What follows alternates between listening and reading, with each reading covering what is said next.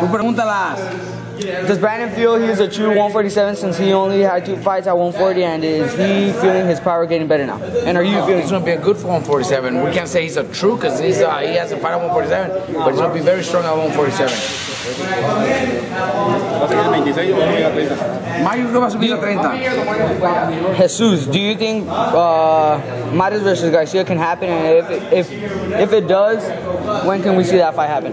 But didn't they ask Jesus that or Jesus asked the question? Jesus asked that. Oh. Do you think it'll happen? I, I, you know, Mares is Mares. Mares I, you know, I read a few twitters where Mares is calling Mikey out, but if he's the one calling us out, he's got to come find us, right? Well, you know, he's the one that got to come find us, and he knows where we're at. He knows we fight for top rank, or Mikey fights for top rank, and uh, that's where the fight. If he wants it, that's, that's where the fight will happen. Mauricio F. Martinez, who's your favorite in La Voz Kids? Oh, that's just bad. ¿Cómo se llama el niño? Bah, but he's already out. That little dude. Okay? Next time I come, you gotta start speaking it. Okay?